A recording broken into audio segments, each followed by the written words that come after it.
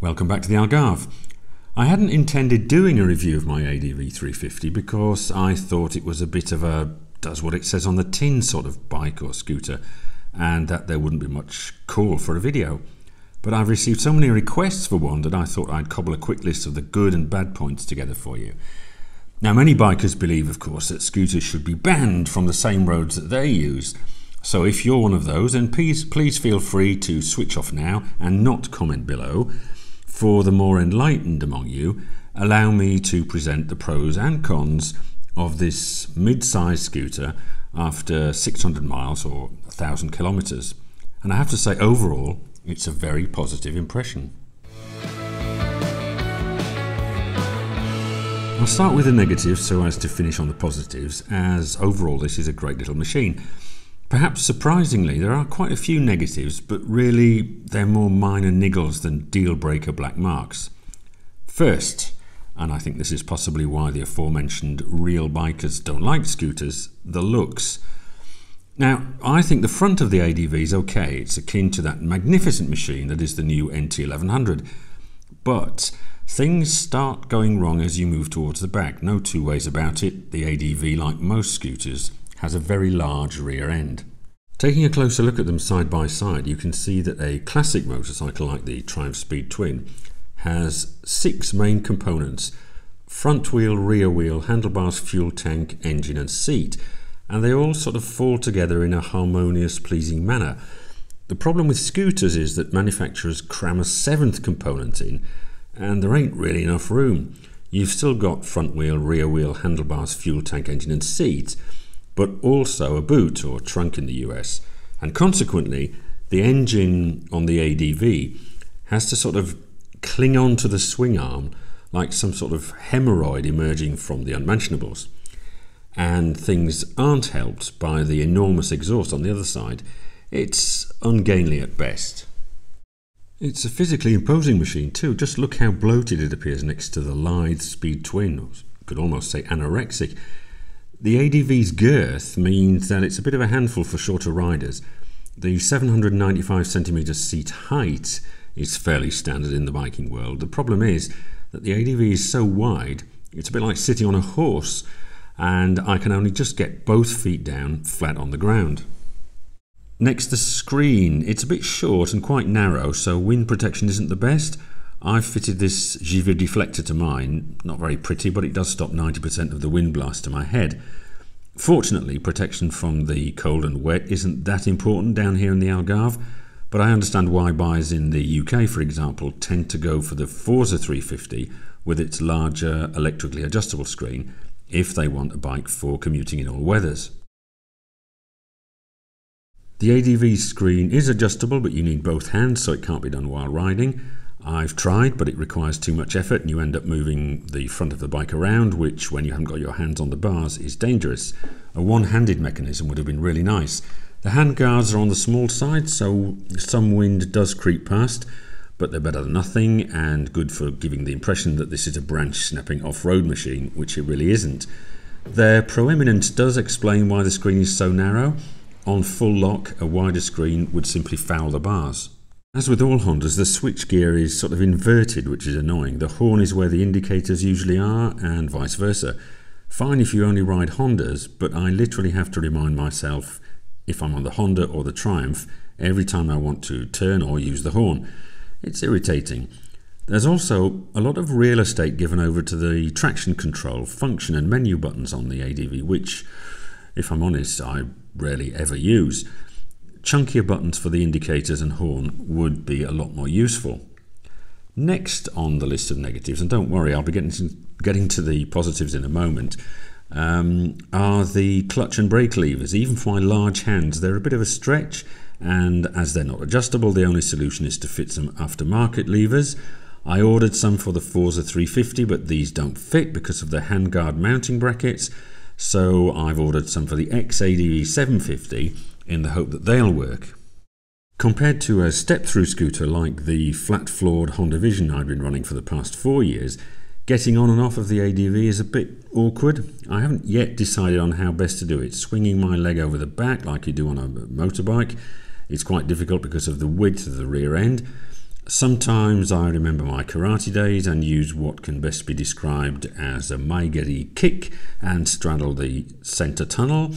And sometimes I cheat, at least when the bike's on its centre stand, and stand on the running board with my left foot before swinging my right leg over. Once you're on, though, it's a very comfortable, spacious place to be. Imagine sitting on a nice, comfortable toilet with the latest edition of your favourite magazine in your hands and 10 minutes of peace and quiet ahead of you. The seat's on the firm side, but it is supportive. I just wish I could shuffle back a bit more.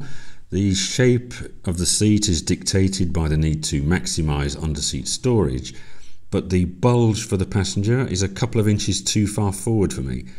The perfectly flat seat on my Triumph, for example, allows me to shuffle around a bit and stretch my legs, but I'm firmly locked into place on the ADV. The new T-Max from Yamaha gets an adjustable lumbar support cushion thing, which I imagine is really nice. Underseat storage is about 50 litres, similar to the Forza, and that's enough for helmet, gloves, and general junk when I'm out on my own. If my wife comes along too with her helmet, then it can be a bit tight, but there's no way I'm putting a top case on what is already a graceless rear end. Incidentally, a big thank you to Honda Portugal for not imposing the top case or the Bluetooth connectivity module. In many markets, Italy for example, both of these come with the bike, increasing the sale price by a further thousand euros. I have no need for either and am therefore thankful that I wasn't asked to pay for them. I wish the seat would open a bit wider. There's a good 10 to 15 degrees spare, but for some reason Honda won't let the seat open anymore, and reaching in to dig out the helmet that close, that's closest to the hinge requires the sort of deftness and flexibility that's in ever shorter supply as the years pass. Exhaust note, well, I always have the greatest difficulty in recording these for you as the microphone picks up the wind a lot more than it does the exhaust. Suffice it to say that with the ADV and all other scooters I've heard, the noise is really nothing to write home about. To be blunt, the ADV sounds like a fart, especially under acceleration, and I really don't get why some owners seek to amplify what is essentially a disagreeable noise by fitting aftermarket exhaust. But hey, if you're into loud farts, then knock yourself out. Riding experience, well, the front brakes could do with a bit more bite, so I fitted these EBC sintered pads, which improve things a bit. I wish Honda had fitted a second disc though, if only to fit in with the slightly sportier pretensions of the ADV compared to the Forza. The single disc setup is okay, but only okay. The feet forward position is nice for a while, but after an hour or so you do begin to feel the strain on your back, as unlike on a motorcycle which allows you to periodically press down on the pegs with your feet to take some of the weight off your spine, you get no leg damping on a scooter. This is common to all feet forward bikes though and is why I didn't get on with the Harley Davidson Sportster when I reviewed that a few months ago. The horizontal running boards are roomy enough but the angled footrests towards the front are a bit short and narrow for my size 10 feet and wind tends to creep around the sides resulting in chilly lower legs and ankles in the winter. But that's it for the minor niggles, so before we move on to the positives, a word from my sponsor, no, only kidding, none of that here. A word about fuel consumption, which is important at the moment with petrol at 2 euros 20 a litre. I haven't reset any of the measurements since I took delivery of the bike, and over the course of the first 600 miles or 1000 kilometres, I have averaged 3.6 litres per 100 kilometres, which equates to 78 mpg UK or 65 US. So, roughly half the consumption of your average car but more than double what I was getting with the Little Vision, which gave me 1.6 litres per 100 kilometres, 175 mpg UK, 150 US, and not that far off the 5 litres per 100 kilometres that the considerably more potent Speed Twin 1200 returns. So ever so slightly disappointing on the fuel, although I am hoping this will improve slightly as the engine loosens up. Anyway, on to the things I really like about the ADV 350. First off, the price, around 6,200 euros here in Portugal. That's a couple of hundred more than the Forza 350, for which you basically get uh, better suspension and a more modern, more lifestyle appearance with semi-off-road tyres and handguards to make you look all tough and sexy. And indeed, the suspension is very good for a scooter. proper full length Showa forks, like on a real bike. Uh, these offer more, a more compliant ride and improved handling. Pity Honda lied on all its European websites about having adjustable rear shocks. I contacted customer support about this, and over the course of a few emails, their response has been basically sorry about the mistake, but as we don't sell online, we can basically say what we want on our websites, even if it's not true. You should have checked with your dealer to make sure the shocks were adjustable. A shameful attitude, but what can you do? Life is short and you need to pick your battles. The bars are great, just like on a proper bike. Good leverage and a comfortable upper body position, and you can also fit a standard phone holder. I know a lot of people don't care for keyless, but I think it's great. I just leave the key in my riding jacket and never have to worry about it. Pity Honda don't also offer knobless ignition too. You have to turn this dial to whatever you want to do, ignition on off, open seat or fuel or lock the bars, before you switch on or off the ignition or open the seat or fuel doors using the separate buttons, which is a bit long winded. Of all the many bikes I've owned, the ADV is the one my wife enjoys riding pillion on the most. The rear seat is very big, comfortable, and the raised position means she can see over my shoulder more easily. All this is important for me as one of the main reasons I run a scooter is for trips down to the beach together. Again, having 50 litres of storage under the seat, plus a sort of mini glove box up front, an additional cubbyhole for tools and a disc lock in the boot, and a place for holding documents on the underside of the seat itself is great. I don't have any of these on my Triumph, and it's just so practical for everyday tasks like nipping to the supermarket, the post office, or the beach. I think the biggest plus point, though, has to be the engine. It only produces around 30 horsepower, which you would think would be pretty pathetic on a scooter weighing as much as the Triumph Trident I was running a year ago did. But no, the twist and go-ness of the scooter honestly makes it feel more like 60 horsepower. Think of it a bit like an electric car. Instant throttle response and lots of low-down torque make it much faster around town than most cars. Up to speeds of around 50 miles an hour, 80 kilometers an hour, you completely dominate the other road users, and even at higher speeds, the ADV can hold its own. I've had an indicated 150 kilometers per hour out of it, which is about 95 miles per hour. Obviously, it's no track weapon and doesn't pin you back or deprive you of oxygen like a sports bike does, but it's ample for most riding situations and not at all bad for only 30 horsepower. It certainly feels a lot livelier than the 48 horsepower Royal Enfield Interceptor, for example. The scooter's girth and overall size I referred to in the negatives turns out to be a plus once you're on the open road like here. The ADV offers a lot more road presence than did the very slight Vision. And the power, yes, I know, only 30 horsepower, but I would urge you to try it, means that generally cars give you respect. There's very little vibration either through the seat, the footboards, or the handlebars. So, unlike the Forza, where they're bolted to the fairing, the bar mounted PCX style mirrors don't shake at all. They could do to protrude just slightly more to offer a better view of what's going on behind, but I'm loath to fit extenders as these would further increase the overall width of the bike. Handling is good, but it did take me a while to adapt um, despite only having a 15 inch front wheel, I initially found turn in a bit slow, at least coming from the Speed Twin. I imagine this is due in part to the more laid back rake of the front fork geometry. I'm used to it now though, and it feels both safe and fun, two qualities I look for in any bike. Fit and finish, as always with Honda, is excellent, except for this wiring here by the left hand grip, a bit of cheap floppy rubber vaguely covering up a bunch of connectors and wires. Not nice.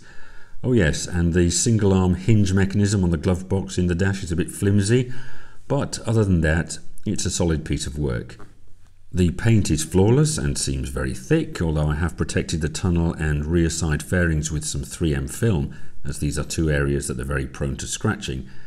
The ADV is also available in an anthracite grey and a sort of raspberry red, although both of these have a matte finish which is always more difficult to maintain, so I went with this silver colour, which also has the advantage of being a bit cooler to the touch in the long hot summers we get here.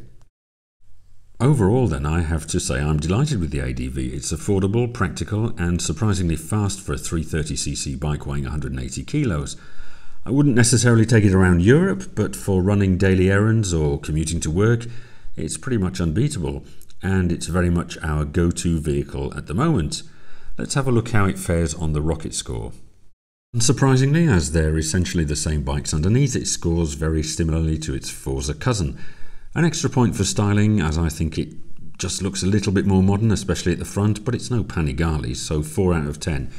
Quality, another point over the Forza for the better suspension, although I prefer the larger instruments and the screen, of course, of the Forza. They had to use a more compact and old tech LCD affair on the ADV for the instruments because the handguards on full lock once again mean there's not enough space for the bigger instruments. 6 out of 10. The engine is identical to the Forza, so 4 out of, 4 out of 10. This might not seem like a very good score, but one of the limitations of this scoreboard is that all bikes are lumped together. And if I give the Triumph Rocket a 9 out of 10 for its 2.5 litre monster of an engine, I can't really give the ADV any more than 4. But it is good though, make no mistake. Handling gets a 4 out of 10. It's not bad, but it will always be a scooter, fine for zipping around town, but not a bike of choice for the track or the mountain twisties. But it gets one more point than the Forza because of the forks. Comfort, pretty much the same as the Forza, only with a more bike-like upper body position and more compliant suspension, but poorer protection from the tiny non-adjustable while on the move screen, which I know is very important to many scooter buyers, means it drops a point, 6 out of 10. Braking is identical, adequate, but I'd really like to see a second front disc, like the Honda gave the CB500X this year, 4 out of 10. Commuting, excellent thanks to the smooth power delivery in town and great luggage space, but it drops a point compared to the Forza because of the small screen, uh, more wind and rain on you, which is not good if this is your only way of getting to work every day. Value, well, I think at around 6,000 euros, the Forza and ADV offer really excellent value, especially when you look at the larger capacity scooters maxing out with the appropriately named Yamaha T Max at an eye watering 15,000. I mean, you could have the wonderful NT1100 for that. You're still only getting a 330cc engine though, so let's say 7 out of 10. Grin factor. Now, this is a difficult one because the scooter is obviously never going to offer the thrills of a motorcycle. It's not designed for that. Is being able to take your wife down to the beach and park within five yards of the bar, even at the height of the tourist season, worthy of a grin? I think so, but I'll try and be objective here. It's just a scooter. So 4 out of 10. So the ADV just pips the Forza, which I think is fair. Please remember that the Rocket score is just a bit of fun. Comparing a scooter to a Triumph Rocket is like comparing a transit van to a Ferrari. It all depends on what you need on the day. Please don't take personal offence if I mark your bike harshly. I just bought myself a Honda ADV 350 that only comes 16th on my own list, which shouldn't make any sense. But if I've managed to convince at least some of you scooter skeptics out there to try it, then I'll be happy. So, as always, thanks for watching.